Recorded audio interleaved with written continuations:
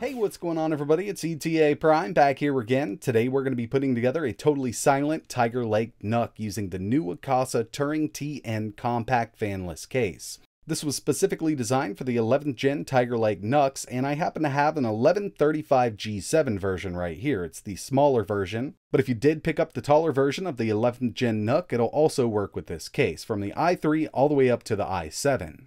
I love these new Tiger Lake Intel NUCs. I've done reviews on several of them, and right here we have the 1135 G7 version. It's the short version, but it's going to fit inside of this case just fine. And with the short version, right out of the box, you actually don't get an option to add a 2.5 inch SSD, but we do have two M.2 slots in here. With the new Akasa case, it does actually come with everything, so you can also add a 2.5 inch to the short version of the NUC, but basically what we're going to do is pull the main board out of this NUC, remove the fan and the heatsink assembly, and put it inside of this fanless case. This whole case is made out of aluminum and it's going to make contact with that Tiger Lake CPU, extracting all the heat. So what we're going to end up with is a fanless, totally silent 11th gen NUC. And if you've ever used an Intel NUC before, you know these things can get quite loud, especially when you up the TDP on these little chips. And they really perform very, very well when that TDP is all the way up.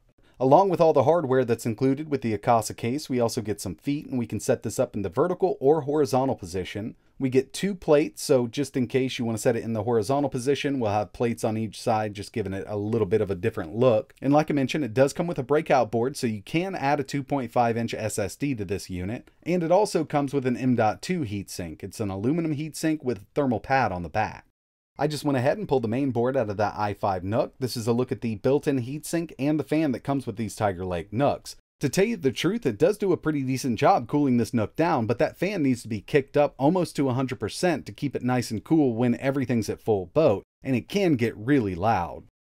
So when it comes down to it, this is actually really simple to put together. It does come with some thermal pads to go on the VRM for this little NUC board. It also comes with its own thermal paste, but I'm going to opt to use some Cooler Master Master Gel here. And this does come with its own instructions, so it tells you exactly what to do. And with this setup here, I'm not going to be adding a 2.5 inch SSD. I'm just going to be using the M.2 SSD that I have pre-installed in the NUC. And once it's finished up, it looks something like this inside of the case. Comes with all of the hardware you need to mount everything up with. And now we only have one last decision. Do I want to run this in the horizontal position? We can put the feet on the bottom and the two sides on or I can go vertical, and I chose to go vertical with it. Personally, I think it looks really good in this position. I've only had it up and running for about 45 minutes, but what I need to do now is kind of do a reboot. We're going to go into the BIOS. I want to up the TDP on this 11th Gen i5. I'll get some updates out of the way, and I'm going to let this run for about four hours. I kind of want this case to get heat soaked. So there's definitely a few things I want to change in here. First up is going to be under cooling. And for this, we're just going to turn the fan off since we don't have the fan plugged in anymore. That way it doesn't throw any flags. Next up, power. Max performance enabled. We definitely want this checked. But under the Intel Dynamic Power Technology, I'm going to go to Custom. We're going to turn OS ACPI off. That way we can change this to 45 watts. And I mean, I could take this up to 100, but it's only going to go to about 45. So I'll just hit up 45. This is going to change that TDP. Burst mode looks good at around 64. Actually, let's just take it up to 70 just to make sure. We'll change the window time to 128. And our VR current limit, let's take this to 400. Really, when it comes down to it, I'm just maxing this thing out. It's only going to do what it's going to do, but uh, now we should have a sustained TDP of around 40 to 45 watts with a nice little burst on it. This should be good to go, and uh, I'm just going to save by pressing F10. Okay, so here we are. I've got the case fully assembled. As we saw in the BIOS, I've gone up to basically the maximum TDP, which is around 45 watts for this little chip here.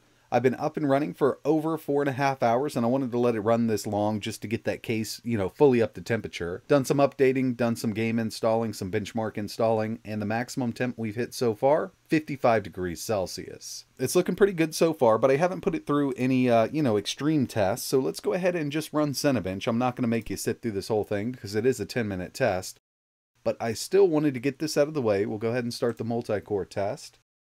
I'll bring my temperature up on screen just so we can get a look here. And I'll let this run through. And I know it's a bit hard to see, but we're at 42 watts, so we are pretty much maxing out the TDP on this 1135G7. And uh, So far, so good, but we'll let this run. We got nine minutes to go. Let's see what happens.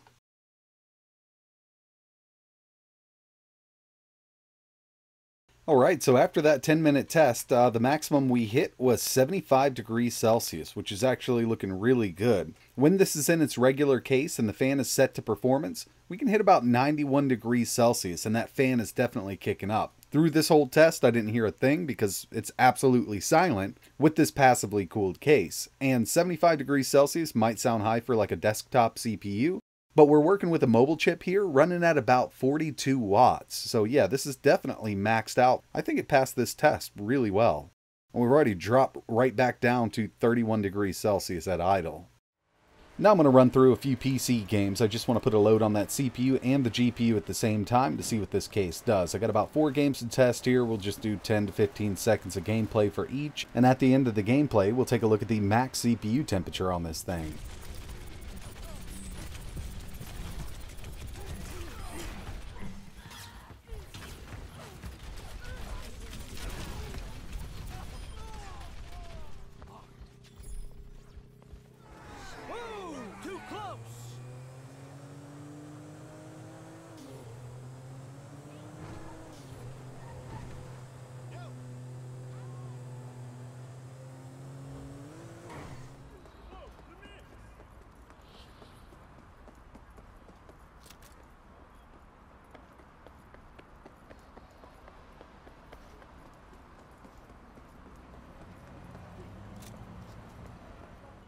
And after running through those four games, we hit a maximum CPU temperature of 78 degrees Celsius. Remember, we're coming off the back end of running Cinebench R23, which we only hit 76 there. But uh, in Cyberpunk 2077, I did see it spike up to 78, and that was the maximum we hit with this case installed.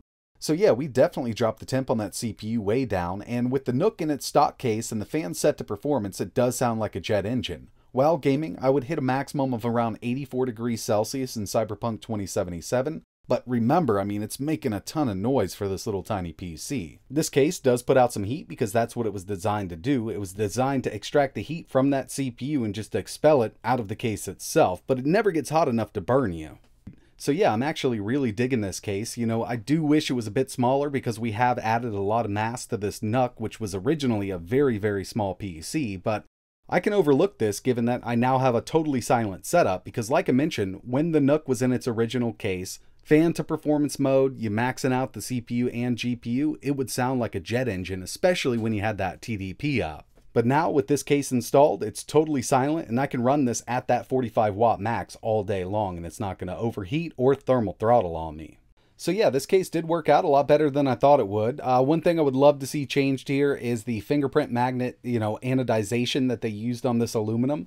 If you touch it, you will leave fingerprints on it, so just make sure you have a microfiber cloth handy. But overall, it does work out really well. If you're looking to turn your NUC into a totally silent mini PC, this is something that I can highly recommend. And they do offer several different models for several different NUC configurations, and they even just put out a line for the Asus PN50 and PN51, which are Ryzen-based mini PCs. But that's going to wrap it up for this one. I really appreciate you watching. I will leave a couple links in the description, and if you have any questions, let me know in the comments below. But like always, thanks for watching.